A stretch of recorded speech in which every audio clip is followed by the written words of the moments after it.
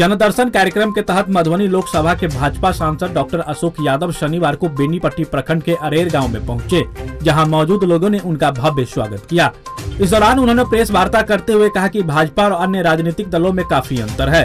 भाजपा का एक एक कार्यकर्ता सामाजिक दायित्व का निर्वहन करने को संकल्पित दिखता है और आम जनों के साथ हमेशा जुड़ा रहता है।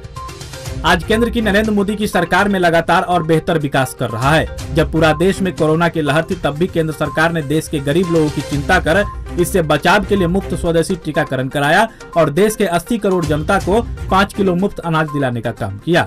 उन्होंने कहा कि पार्टी अब विस्तारीकरण की ओर बढ़ रही है। बूथ अध्यक्ष के अलावे अब पार्टी पन्ना प्रमुख भी बना रही है, ताकि हम और हमारी पार्टी समाज के सभी वर्गो के जरूरतमंद लोगों तक पहुंचकर सरकार के कार्यों व महत्वाकांक्षी योजनाओं की जानकारी दे सके। उन्होंने कहा कि आज देश हर मोर्चे पर सभी क्षेत्रों में तेज़ी से विकास कर रहा है। आज बिजली की समस्या खत्म सी हो गई है, सड़क व पुल पुलिया हर जगह बन रही है। फ़िलहाल बारिश में कुछ जगहों पर जल जमाव की समस्या उत्पन्न हो रही है। कुछ जगहों पर जगह के अभाव के कारण नाला नहीं बन रही है। बावजूद सरकार इस समस्या के समाधान को लेकर गंभीर है।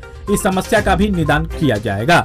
बता दें कि सांसद डॉक्टर यादव शनिवार को जनदर्शन कार्यक्रम के तहत अरेर मंडल के बरहुलिया, बिशनपुर, जमुआरी, नबकरही, नगबास, बलाइन गाँव का दौरा कर स्थानीय लोगों से बात कर समस्याओं की जानकारी ली और समस्या के निदान कराने का आश्वासन दिया। इस क्रम में वे बेनीपट्टी प्रखंड के कई प्रमुख लोगों के घर पहुंचकर कुशल छेम पूछा। इससे पहले अरेर इंडियन ग्रामीण गैस वितरण केंद्र पर जदयू स्वर्ण प्रकोष्ठ के जिला अध्यक्ष प्रदीप कुमार झा बासु ने उन्हें मिथिला के रीति रिवाज के अनुसार पाक दुपट्टे व माल्यार्पण से सम्मानित किया। साथ ही अन्य भाजपा कार्यकर्ताओं को भी गमछा भेंट किया। मौके पर भाजपा नेता देवेंद्र यादव, उमाशंकर गुप्ता, मोहन झा विवेक नंद झा, सुभाष चंद्र उदय, अमरनाथ प्रसाद सहित अन्य लोग भी मौजूद थे। अभी मिथिलांचल में लगन का भी समय शादी माइन मुंडन। इसी कार्य में क्षेत्र भ्रमण में कई दिनों से क्षेत्र भ्रमण कर रहे हैं। और आज का जो कार्यक्रम हम लोगों का जो संगठन का इकाई मंडल होता है अरेर मंडल हम लोग का एक संगठन का इकाई उस अरेर मंडल में जनता दर्शन के कार्यक्रम के लिए आज निकले रास्ते में भी कई जगह रुकते हुए लोगों की समस्या सुनते हुए सहारा इंडिया के डेलीगेट आए थे, काफ़ी संख्या में लोग आए थे, उनकी समस्या उनकी समस्या को सुनते हुए और अभी यहाँ अरेर में बासु जी के यहाँ बैठे हुए फिर यहाँ से निकलेंगे कई पंचायतों का दौरा है यहाँ पर लोगों की समस्याओं को सुनना, जनता दर्शन करना और आदरणीय प्रधानमंत्री श्री नरेंद्र मोदी के द्वारा जो पूरे देश में काम किया जा रहा है, विकास का काम जो किया जा रहा है उनके विकास के कामों को जन जन तक पहुंचाना गाँव गाँव तक पहुंचाना, झोपड़ी तक पहुंचाना तो उनकी जो आठ साल में उपलब्धि रही थी।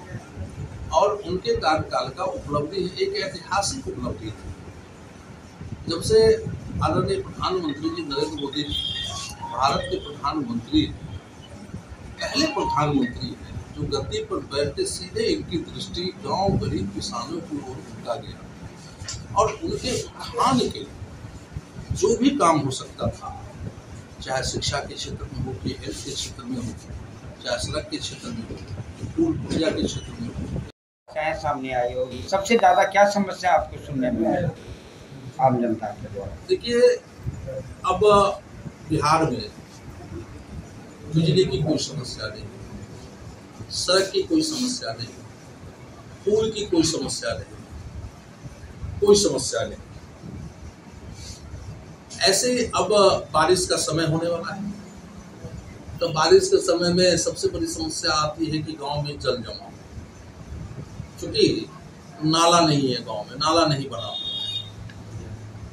या सड़क के साथ नाला का स्वीकृति भी होता है तो ज़मीन के अभाव में विलेज कौशल वहाँ नाला का निर्माण नहीं हो पाता है।